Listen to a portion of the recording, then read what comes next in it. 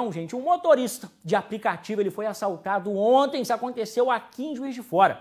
O crime aconteceu quando ele esperava uma passageira. O Thales Rodrigues vai voltar a falar comigo, ele tem os detalhes aí. Mais um motorista de aplicativo vítima de assalto, Thales. É isso mesmo, Alessandro. E nesse caso, o roubo aconteceu à luz do dia. Foi próximo das 3 horas da tarde de ontem.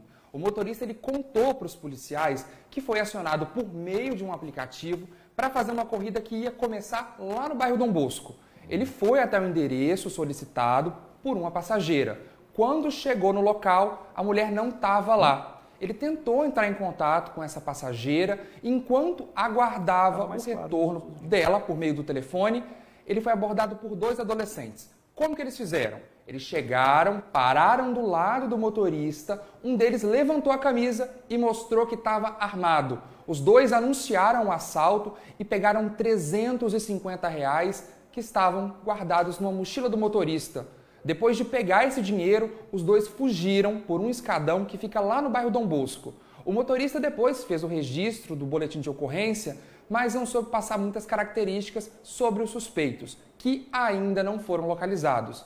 Infelizmente, mais uma vez, a gente trazendo uma notícia de insegurança para quem trabalha com transporte de aplicativo, trabalha nos táxis e há menos de um mês, mais ou menos, Alessandro, em novembro, infelizmente, um, um, uma tentativa frustrada de assalto terminou com a morte de um jovem de pouco mais de 20 anos. Tá difícil de segurança, né, para trabalhar. Tá difícil, com certeza. Eu lembro desse caso, um rapaz de 21 anos, né, trabalhando ali, garantindo o sustento dele da família,